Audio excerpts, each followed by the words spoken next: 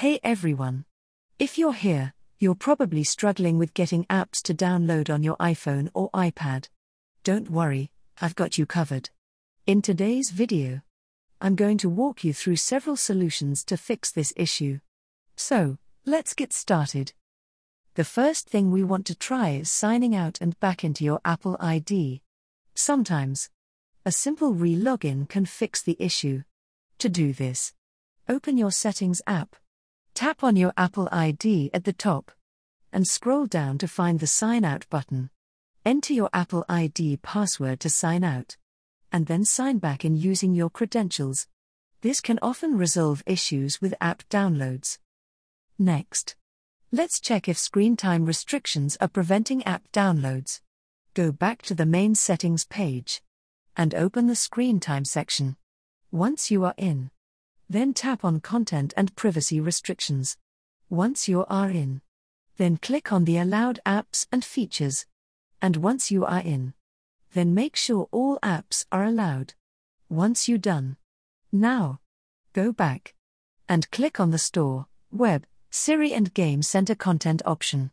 When you click on it, a new screen will appear.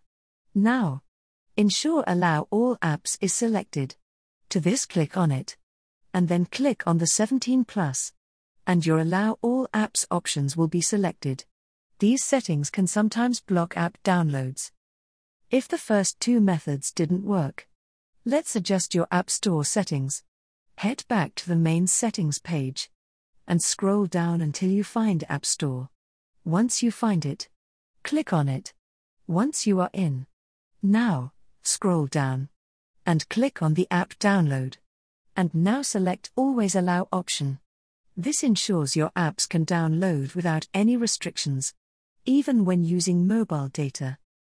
Sometimes, the issue might be due to your internet connection.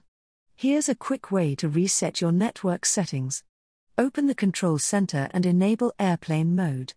Wait a few seconds. Then disable Airplane Mode. And reconnect to your Wi Fi network or mobile data make sure your connection is stable.